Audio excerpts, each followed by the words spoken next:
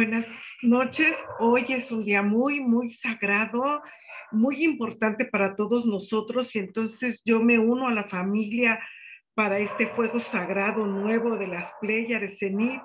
Eh, me, unifico a Cali México, a Chicome, a Tlactoca Mexica, a, con todos ustedes desde aquí, desde Puebla.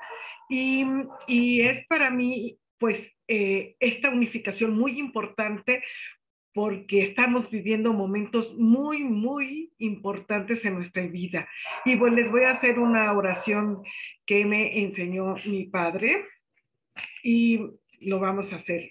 Si ustedes me, me quieren seguir, pues con esto nos unificamos. Oración al Gran Espíritu, cuya voz oigo en el viento y cuyo respiro de vida a todo el universo.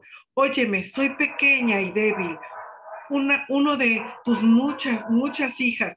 Déjame pasear en la belleza y permite que mis ojos siempre puedan contemplar el rojo y el púrpura de la puesta del sol. Haz que mis manos respeten las muchas cosas que tú has creado y agudiza mis oídos para oír tu voz.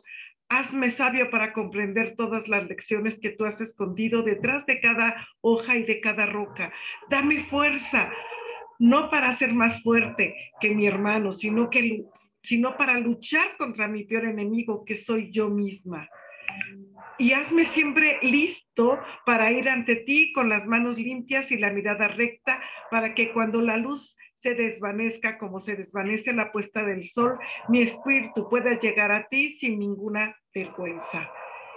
Esta es una oración lacota y pues yo les bendigo a todos ustedes y nos unificamos desde acá, desde Puebla, con todos ustedes.